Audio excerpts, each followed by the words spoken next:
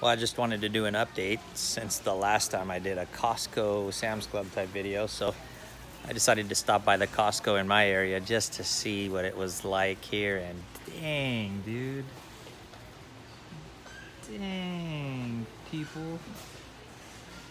Look at all the freaking empty shelves. Some people are just nuts. This is just insanity. It's amazing when people panic. This is what I try to tell people, you know, if you don't if you don't really plan ahead, this is what happens when people panic, dude. It's unbelievable. I've never seen anything like this. it's craziness. Good Walmart thing. Walmart looks the same, by the way. Yeah, Wal- she said Walmart looks the same. Good thing I bought all my toilet paper years ago. Good lord. Years ago? Yeah. You know what? You could sell it. I know. You can I know some of the prices money. are crazy. I've seen online. Yeah. it's unbelievable. Yeah. Wow. So there you have it.